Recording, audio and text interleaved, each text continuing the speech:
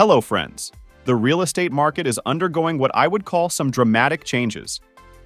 The cause of all this can be debated, but most would agree that the rapid interest increase by the Federal Reserve is the main reason, followed by inflation in everything from groceries, gas, electricity, insurance, building materials, labor, and much more. Let me give you an example of how this works for real estate prices.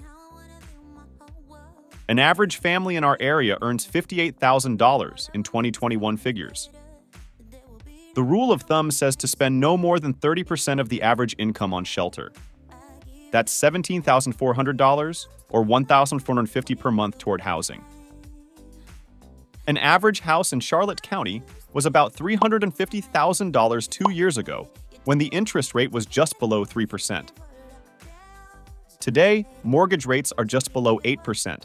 So if a family wants to sit with the same mortgage after a 20% down payment, then the same house needs to be sold for $200,000 today, which is a 42% price cut. Of course, you can say people just need to earn more, but if that's the case, then the average income in Charlotte County needs to increase to $82,360. That would be the biggest and fastest salary increase in Charlotte County's history. So while the average income might increase a little, something else needs to move a whole lot for the balance to come back. This is what most buyers and sellers don't realize.